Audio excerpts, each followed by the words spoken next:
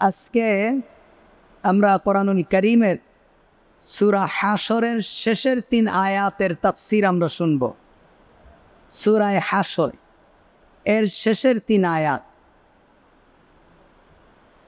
একটি বর্ণনা এসেছে, যদিও অনেক ওলামাই কেরাম বলেছেন, মুহাদ্দিসিনে কেরাম বলেছেন, বর্ণনাটা দুর্বল জরিফ তারপরেও একটি বর্ণনা এসেছে, যদি কোনো ব্যক্তি ফজরের সালাতের পরে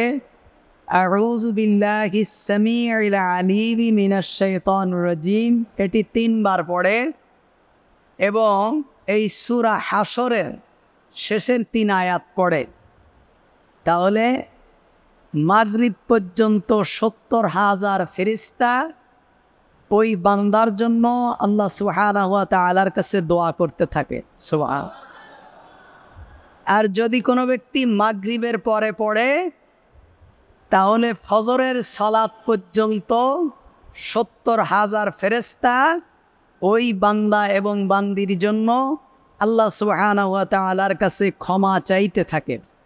আল্লাহ যদিও বর্ণনাটি দুর্বল, তবে অনেক মহাদিসিনে কিরাম বলেছেন, আমলের ক্ষেত্রে দুর্বল বর্ণনার উপরে আমল করা যায়।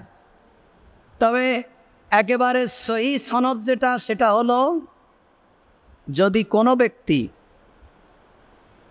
প্রতি ফরজ সলাতের পরে, প্রতি ওয়াক্তের ফরজ সলাতের পরে আয়াতুল কুরসি যদি পড়ে, এটা একেবারে সেই বর্ণনা, প্রতি ওয়াক্তের ফরজ সলাতের পরে যদি কেউ আয়াতুল কুরসি পড়ে আল্লাহুলা ইলাহা হুয়াল হাইয়ুল কাইয়ুম লা তাকুযুহু সিনাতু ওয়ালা নাওম, লাহু মা ফিস সামাওয়াতি ওয়া মা ফিল আরদ।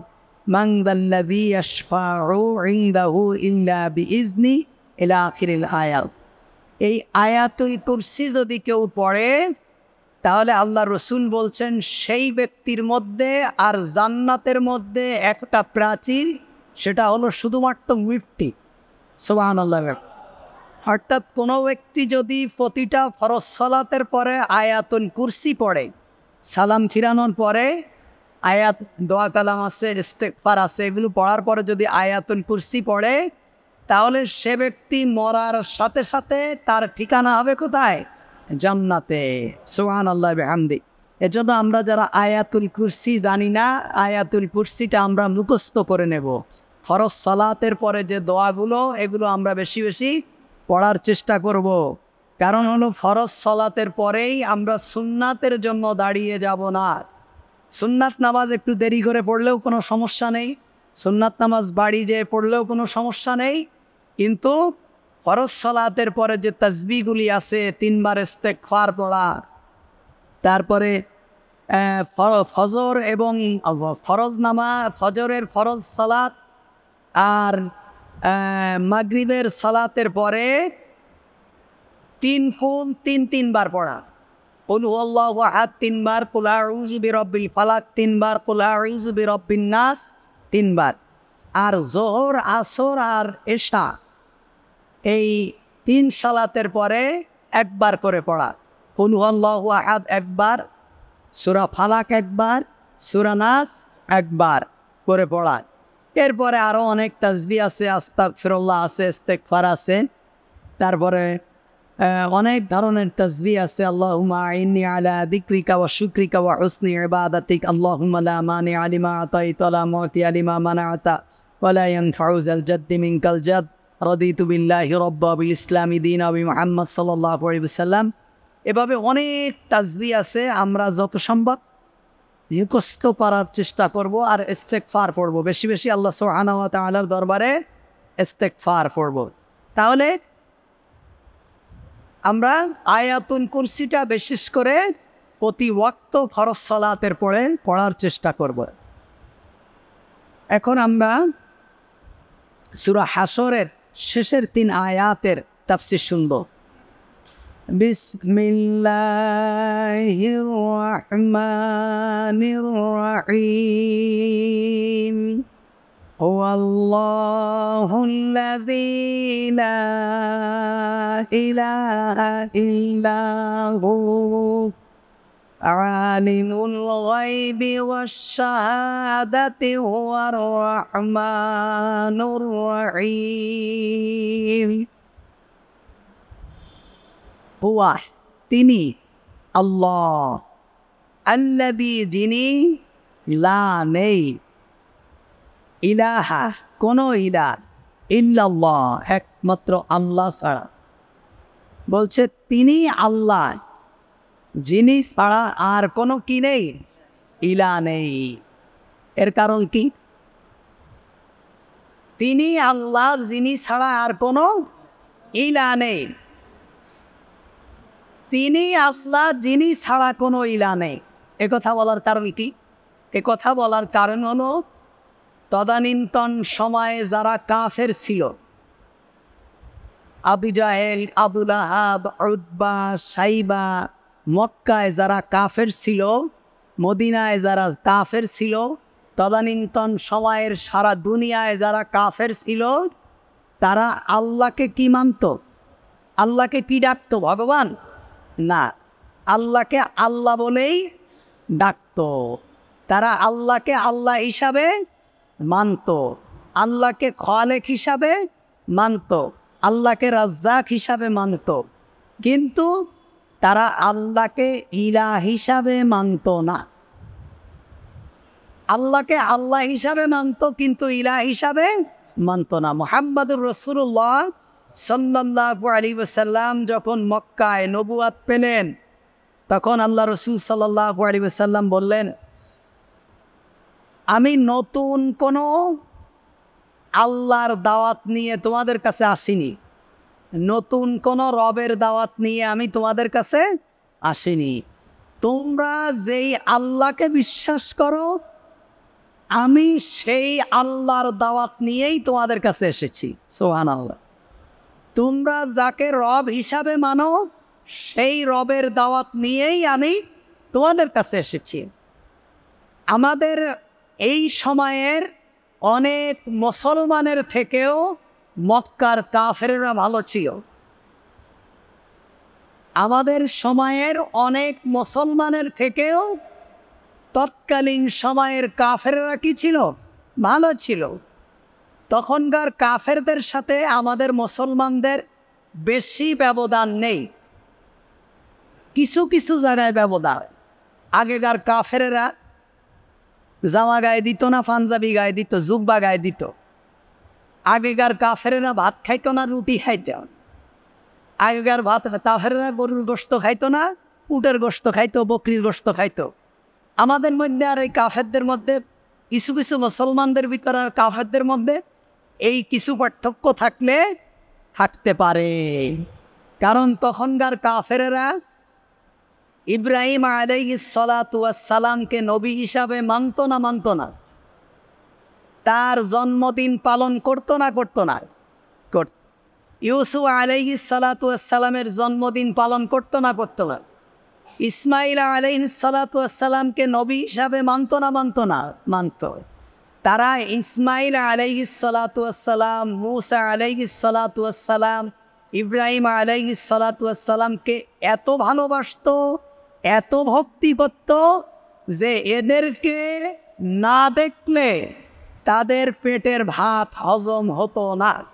এই কারণে ওরা ওই সিরিয়ায় যেত, সিরিয়ায় যাইতো, লেবানন যাইতো, ফিলিস্তিন যাইতো ইসরায়েল যাইতো, যেখানেই তারা যেত তাদের নবী ইব্রাহিম আলহি সালাতামের একটা মুক্তি তারা তাদের ব্যাগের মধ্যে করে নিয়ে যাইতো। যখনই কোনো বিপদে পড়ত, ব্যাগ থেকে ইব্রাহিম আলহি সালাতামের মুক্তি বের করে দোয়া করত আল্লাহর কাছে। তাহলে আমাদের সময়ের আশেকে রসুলদের থেকে তৎকালীন সময়ের আশে কাফেরদের, কাফেররা কি কম আশেকে রসুল ছিল? না। ছিল না। বরং আমাদের সময়ের যারা আশেকে রসুল, এরা হলো ফালতু আশেকে রসুল।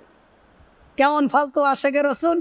নিজেরা কেক বানায়, নিজেরা কাটে, নিজেরা খায়, নিজেদের উদারপূর্তি করে। আর তৎকালীন সময়ের যারা আশেকে রসুল ছিল, তারা টাকা খরচ করে মূর্তি বানাইতো।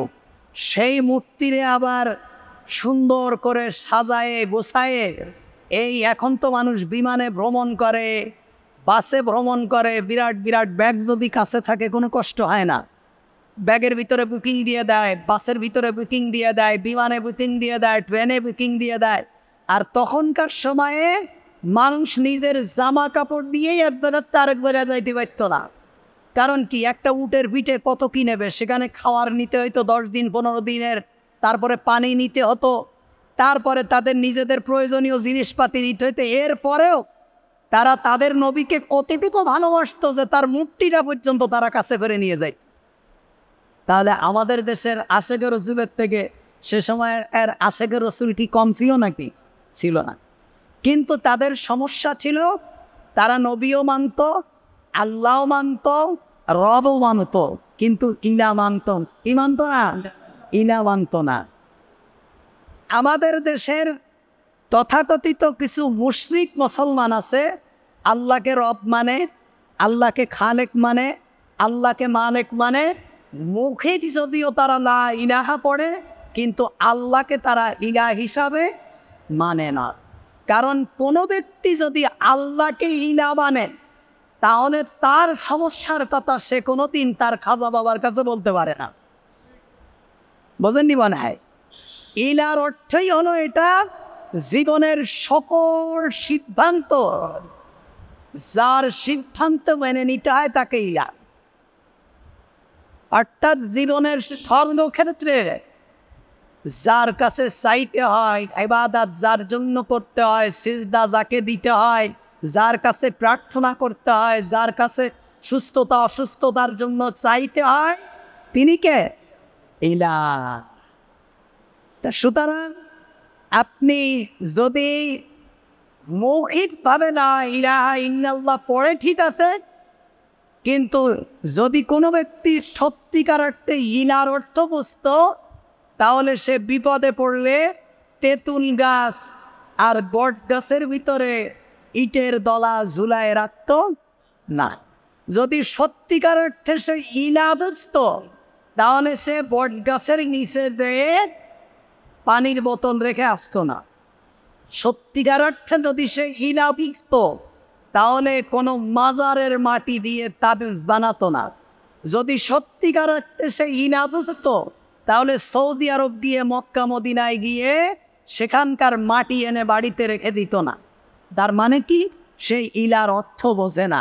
মক্কার কাফেরেরা ইলার অর্থ বুঝতো না বলেই মক্কার কাফেরেরা যখন বিভিন্ন দেশে সফরে যেত, সিরিয়ায় যেত, লেবানন যেত, ব্যবসায়িক কাজে বিভিন্ন দেশে যখন তারা যাইতো, তখন কি করত চিন্তা করত, আহা, মক্কা শরীফ, এই মক্কাতুল মুকাররমা, বাইতুল্লাহ, এখানে রেখে যাচ্ছি, আমরা তো চলে যাচ্ছি শত শত মাইল দূরে, তাহলে আমাদের যদি কোনো বিপদ হয়, মুসিবাত হয়, আমরা কি করব।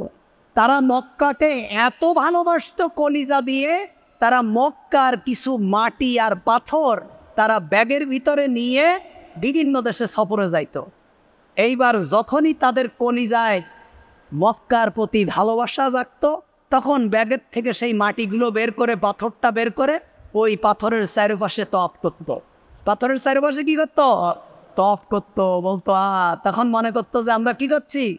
মক্কা তফ করছি। আমাদের দেশে কিছু জায়েল আছে। কিছু মূর্খ আছে, আমার সাথে এরকম বহু মূর্খর দেখা আছে, যে পীর সাহেব তো সেই চট্টগ্রামে আছে, খাজা বাবা তো সেই সিলেটে আছে, খাজা বাবা তো সেই ময়মনসিংহে আছে, আমি তো চলে আসছি এখানে। খাজা বাবা তো সেই মতিঝিলের দেওয়ানবাগে আছে, তাহলে আমার যখন বিপদ হবে, আমি খাজা বাবারে পাবো কীভাবে? তখন ওই খাজা বাবার ছবি এনে বাড়ির ভিতরে লটকায় রাখে। কেউ দেখেছেন এরকম? কারও বাড়ি কি দেখেছে? আমি দেখিস বহু মানে বহু ধরনের গোমরা আছে যারা তাদের পীর সাহেবের ছবি বাড়ির ভিতরে এইভাবে লটকায় রেখে দিছে, বান্দায় রেখে দিছে যে আমাদের বিপদে পড়লে আমাদের পীর সাহেব আমাদের কি করবে? রক্ষা করবে। অথচ আল্লাহ রসুল বলছেন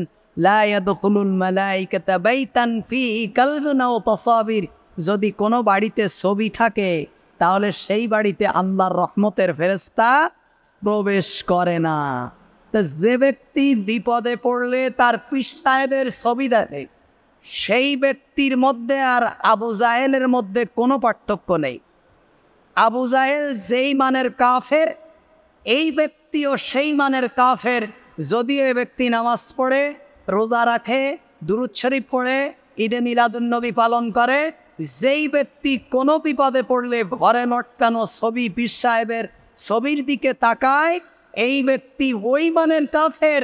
আবু জাহেল যেমন কোনো বিপদে পড়লে ইব্রাহিম আলাই সালাতামের মুক্তির দিকে তাকায়। বোঝেননি? ইব্রাহিম আলাই সালাতামের মুক্তির যেই দাম, আমার মুক্তির সেই একই দাম। আপনার পৃষ্ঠাবের মুক্তির সেই একই না কেউ যদি মোহাম্মদ ইব্রাহিম আলাই সালাতামের প্রতীকী মুক্তি বানায় যদি মনে করে যে আমি বিপদে পড়লে ইব্রাহিমরে দেখব, আরেকজন যদি আমার মুক্তি বানায় মনে করে আমি বিপদে পড়লে, আমার খতিব সাহেবরে দেখব, আরেকজন যদি বলে আমি বিপদে পড়লে আমার মাইজ ভান্ডারিরে দেখব, তিনজন একই লেভেলের কাফের। তিনজন হাসর কাফ সাথে হবে, একই সাথে হবে। আল্লাহ তাআলা সেই কথাই বলেছেন হুয়াল্লাহু আল্লাযী লা ইলাহা ইল্লাহু তিনি আল্লাহ। যিনি ছাড়া যিনি ছাড়া নেই কোনো ইলা অর্থাৎ তোমরা যারা আল্লাহ বলছ, তিনি ইলা সমস্ত বিপদ, আপদ, মুসিবত সব কিছু এই আল্লাহর কাছেই চাইতে হবে। তুমি আল্লাহরে আল্লাহ বলে মানবা আর বিপদে পড়লে ইব্রাহিম আলাইসালাতামের মুক্তির কাছে যাইবা, আল্লাহরে খালেক হিসাবে মানবা।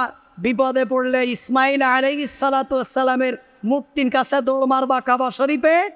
তাহলে তুমি মুশরিক, তুমি ইমানদার না, তুমি কাফে তাহলে ইনা কাকে বলে?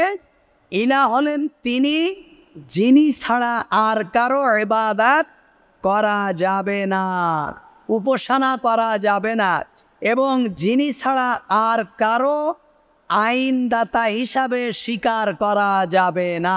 এই পৃথিবী পরিচালনার জন্য যে আইন কানুনের দরকার আছে, যার কথা মতো এই আল্লাহর পৃথিবীটা চলবে, তিনি একমাত্র কে? তিনি হলেন ইলা, তিনি হলেন রব। আলিনুল যিনি, তিনি অপ্রকাশ্য এবং প্রকাশ্য সব কিছু জানেন। যিনি ইলা তিনি যা প্রকাশ্য আর যিনি যা অপ্রকাশ্য। যা পাঁচ হাজার বছর পরে আসবে, সেটাও তার কাছে যেমন তার জ্ঞানের ভিতরে আছে, যেটা পাঁচ হাজার বছর আগে এসেছে, সেটাও তার জ্ঞানের কাছে তেমন। সোয়ান অর্থাৎ যেটা দেখা যায়, যেটা দৃশ্যমান আর যেটা দৃশ্যমান নয়, একেবারেই সমুদ্র সাগরের অতল তলদেশে যেটা পৃথিবীর কেউ দেখতে পারে না, সেটাও তার কাছে যেমন, আমরা খালি চোখে যেটা দেখতে পারি সেটাও তার কাছে তেমন। তার জ্ঞানের কাছে তেমন। আলিমুল ও শাহাদা। অর্থাৎ তার এলেমের ভিতরে একেবারে প্রকাশ্য অপ্রকাশ্য সব কিছু, দুনিয়া এবং আখেরাতের যা কিছু আছে, সব কিছু তার জ্ঞানের ভিতরে আছে। তিনি হলেন কে?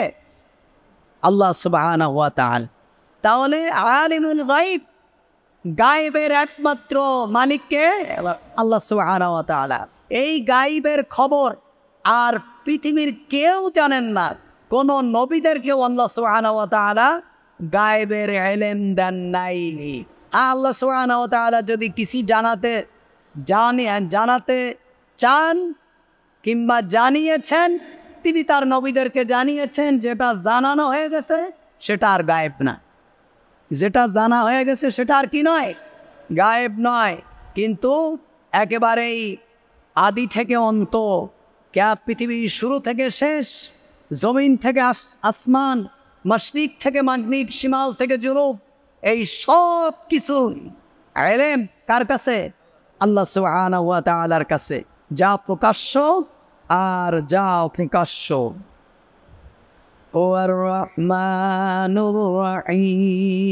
তিনি একমাত্র দয়াময় এবং পরম দয়ালু। অর্থাৎ ও আর রহমানুর রহিম তিনি একমাত্র দয়াবান এবং কি? তরম দয়ালু। অর্থাৎ পৃথিবীর সব কিছু তার উপরে তার দয়া বিস্তৃত। অরহমতি বসে আদকুল্লা সেইন আমার দয়া সর্বত্র বিস্তৃত। আল্লাহর রহমত সব জায়গায় বিরাজমান।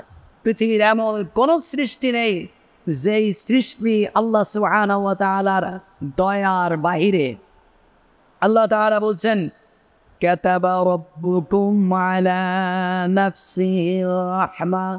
তোমাদের প্রতিপালক নিজের উপরে দয়া প্রদর্শন করা অনিবার্য করে নিয়েছেন।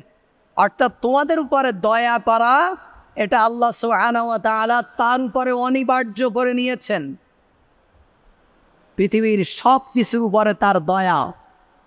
থাকবেই তিনি দয়া করাটাকে নিজের উপর অনিবার্য করে নিয়েছেন। আল্লাহ তালা কোরআনুল করিমের ভিতরে বলছেন আল্লাহ সুহানা হাবিব বলছেন, দয়াটাকে, রহমতটাকে একশো ভাগে ভাগ করা হয়েছে। নিরানব্বই ভাগ দয়া আল্লাহ সুহানা তার নিজের কাছে রেখে দিয়েছেন। আর এক ভাগ দয়া আল্লাহ সুহানা গোটা পৃথিবীর সমস্ত সৃষ্টিজীবের মধ্যে ভাগ করে দিয়েছে। সোহান আল্লাহ তাআলা কত বড় দয়ালু, কত বড় রহমান।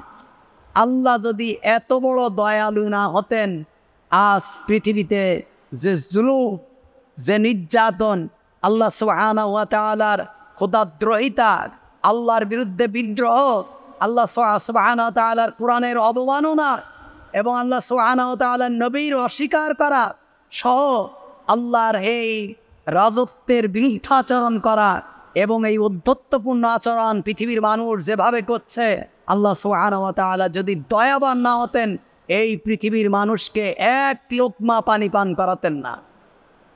আল্লাহ অবশ্যই দয়াবান। কিন্তু তিনি এমন দয়াবান, তিনি কি? আর রহমান তিনি দয়ালু। পৃথিবীতে এই রহমান, তার দয়াটা গোটা পৃথিব্যাপী আল্লাহর যে একেবারে ঘোর নাফারমান, যে নাস্তিক, যে বেইমান প্রতিটা মুহূর্তে আল্লাহর অস্তিত্বকে অস্বীকার করে, আল্লাহ সুবাহকে অস্বীকার করে, আল্লাহর ক্ষমতাকে অস্বীকার করে আল্লাহ সৃষ্টিকর্তা হিসাবে অস্বীকার করে, আল্লাহর স্রষ্টা, আল্লাহকে স্রষ্টা হিসাবে মানে না। প্রতিটা মুহূর্তে যেভাবে আল্লাহর নাফারমানি করছে, পৃথিবীর অসংখ্য নাস্তিক আল্লাহ সুবাহ তারপরেও তার জন্য সূর্যের আলোকে বন্ধ করে দেননি। নদীর পানিকে তার জন্য বন্ধ করে দেননি। তার জন্য রিজিককে বন্ধ করে দেননি। তার জন্য গাছের ফলকে বন্ধ করে দেননি। তার জন্য অক্সিজেনকে বন্ধ করে দেননি। আল্লাহ সুআনাওয়া তালা তার দয়া এই সমস্ত পৃথিবীর নাফারমান বেইমানদের উপর আল্লাহ তালার দয়া হচ্ছে কিন্তু আর রহে।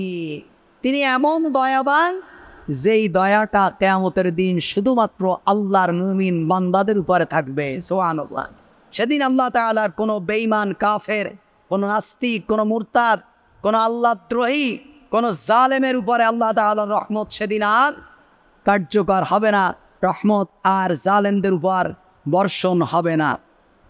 আল্লাহ সোহান বলছেন هو الله الذي لا إله إلا هو তিনি আবার বলছেন তিনি হলেন সেই আল্লাহ যিনি ছাড়া আর কোনো ইলা নেই যিনি ছাড়া আর কোনো ইলা নেই